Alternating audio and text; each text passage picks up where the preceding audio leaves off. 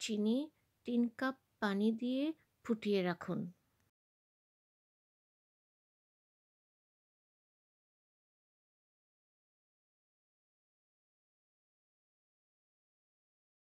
একশো গ্রাম গুঁড়া দুধের সাথে এক টেবিল চামচ সুজি, দুই টেবিল চামচ ময়দা, এক টেবিল চামচ ঘি, চার চামচের আট ভাগের এক ভাগ সোডিয়াম বাইকার্বনেট দিয়ে ভালো করে মেশান।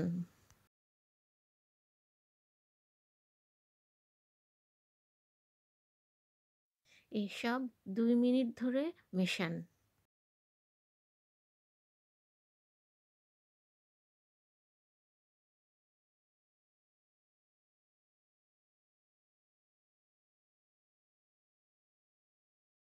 প্রথমে দুই টেবিল চামচ দুধ দিয়ে মিশিয়ে নিন।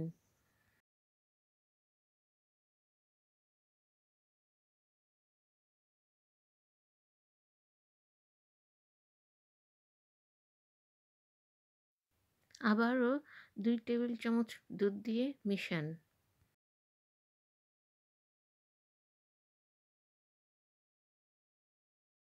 ডোটা যদি শক্ত মনে হয় তাহলে আরও দুই চামচ দুধ দিয়ে ভালো করে মেশান।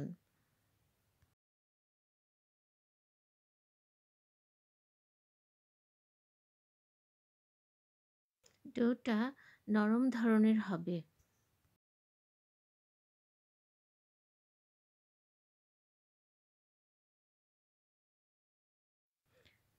এই রকম নরম।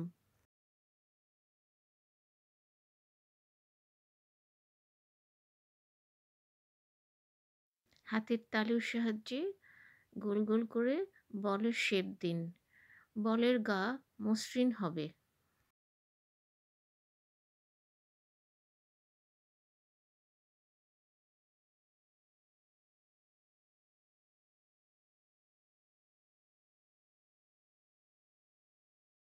বলগুলো আপনা আপনি ভেসে উঠবে।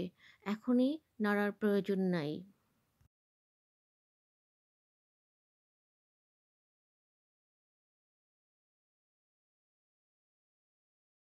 ভেসে উঠলে নেড়ে দিয়ে কালচে করে ভাজুন।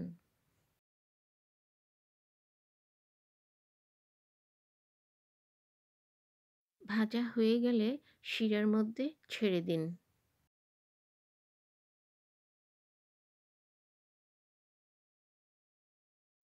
হাতা দিয়ে চেপে চেপে ডুবিয়ে দিন।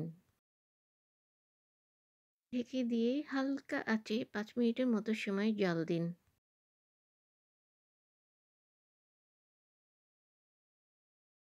গোলাপ পানি মিশিয়ে পরিবেশন করুন।